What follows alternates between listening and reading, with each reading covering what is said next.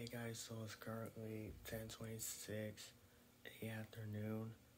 So we're getting another flight to Atlanta, Georgia. So, so we're on the Southwest Airlines flight 712. We usually leave somewhere at 8. We, we landed at 9 when we get to Atlanta. So we got our bags packing. So I got mine packed. The only thing I get a charger, my two tablets, the black one and the blue one right there. So I probably should get some kind of sleep right now. So,